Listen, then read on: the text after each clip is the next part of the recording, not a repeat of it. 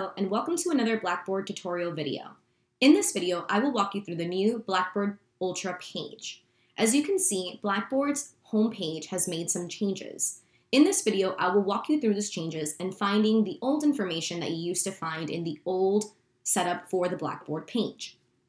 First thing that we're going to walk through is the tabs that we find on the left-hand side of our new page. Now, if you remember, when we first logged into Blackboard with the old setup, we had three words up at the top that said institution, courses, and organizations. Now we're going to find those same selections here on the side menu on the left. So the first thing that we can find is institution page. When I click on this, I'm gonna find this page here. And it's gonna lead me to academics, admissions, tuition, and even the mdc.edu homepage. So anything that I click here will redirect me to another page on the mdc.edu website. So if you need anything in regards to academics or tuition or anything like logging into your portal, then you can simply come to institution page, click on MDC home, and it will link you back to that mdc.edu page where you can find your portal.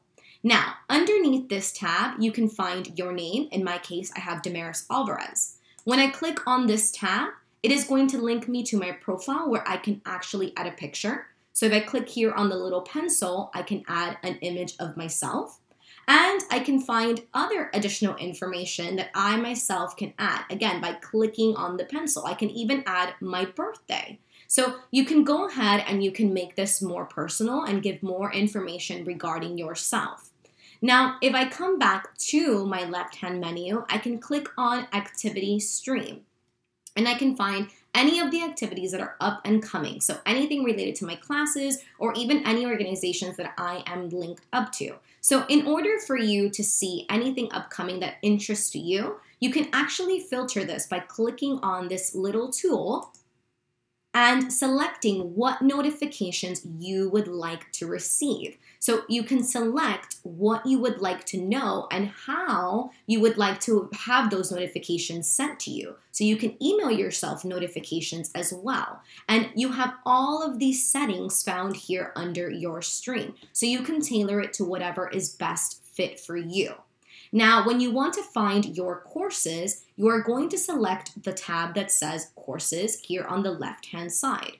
When I click on Courses, I'm going to find my current courses. Now, when I look at this current course menu, I can see that these are not my current courses. So I'm going to click on here where it says current courses and I have a little arrow and I'm going to select the term that I'm looking for. Right now, I'm looking for spring term 2021.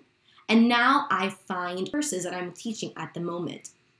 Now, if I want to go back and find, let's say, my fall courses, I can go ahead and look for the fall term 2020. And here are those courses. So again, you can navigate this by simply clicking on this drop down arrow and you can select the term that you would like to see the courses for.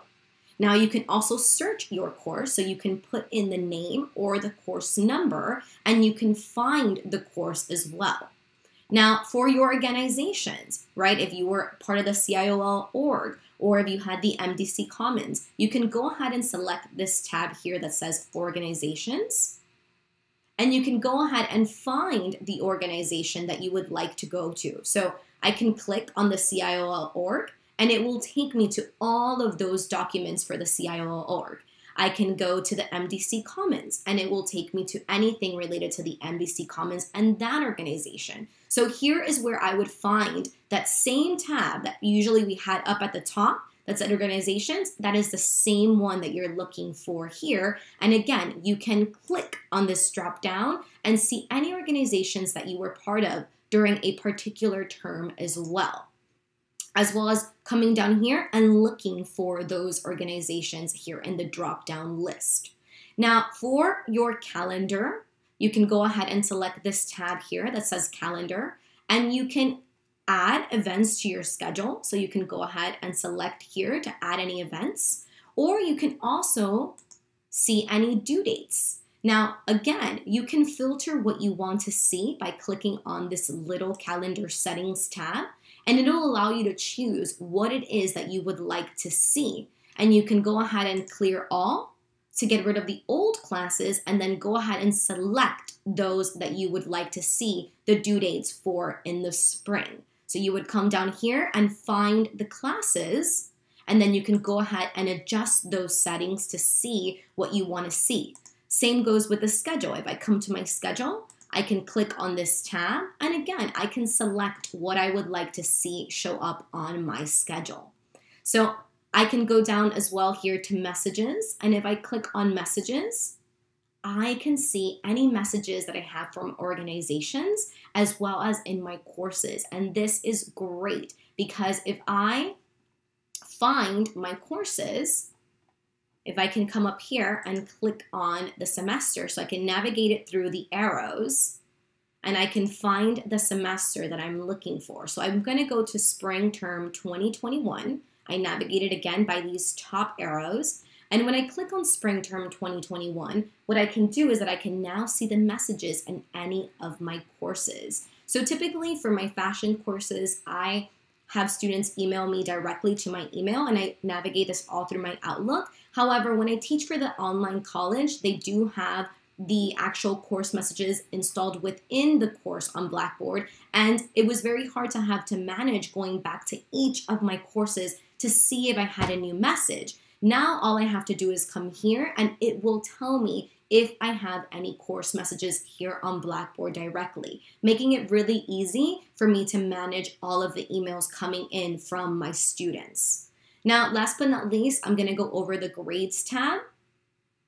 And when I click here on grades, again, they don't have a drop down menu for us here. They only have that arrow. So I'm gonna look for the semester that I want to find the grades for. In this case, it's going to be spring term 2021, and I have nothing to grade as of now. My classes aren't built out yet.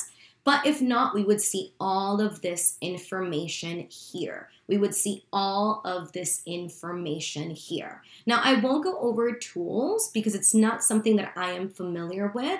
And when I took part of the actual workshop regarding this ultra base, it wasn't something that as professors we would be manipulating often. So it's not something that I will go over in this video. Later on, if it is requested, then I will create a separate video if we are using this feature. If you have any questions, please let me know and don't forget to subscribe. Thank you.